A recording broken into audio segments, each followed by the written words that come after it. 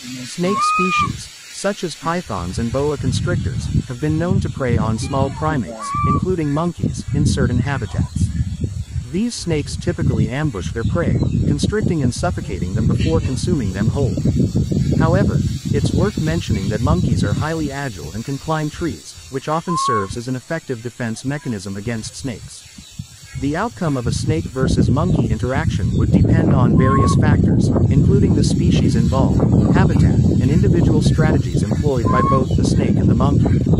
Please subscribe and drop your comments in the comment section.